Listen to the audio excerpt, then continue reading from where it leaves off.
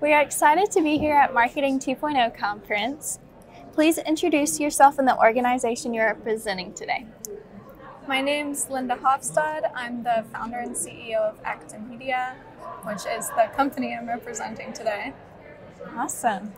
You are a Marketing 2.0 Conference USA Spring 23 honoree. How does it feel to receive recognition for your accomplishments? It feels pretty amazing. I mean, I'm 20, so it's a big award to be getting so early. But I do think it's well deserved, and my team is really behind all of it. That's amazing. What advice would you give to someone wanting to follow in your footsteps? I'd say just don't listen to anybody else, follow your own path. And I mean, there's no set like path that anybody has to follow. It's just you build it yourself. You know what you're passionate about, and nobody else gets to make the rules for you. That's good. How has your learning and networking experience been so far at the Marketing 2.0 Conference USA Spring 23?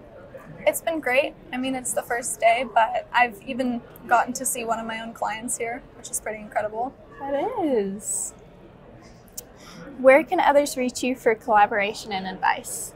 So you can find me on LinkedIn under Linda Hafstad, or you can go to my website, which is ektemedia.com, and the email to my team is info at ektemedia.com.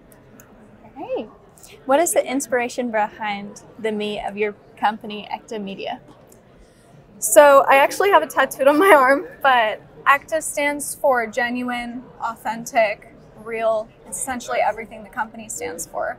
We're trying to shift the marketing industry in a more authentic direction. So, real media is a pretty great way to do that. Oh, that's amazing. What is your ultimate goal as a professional in the industry?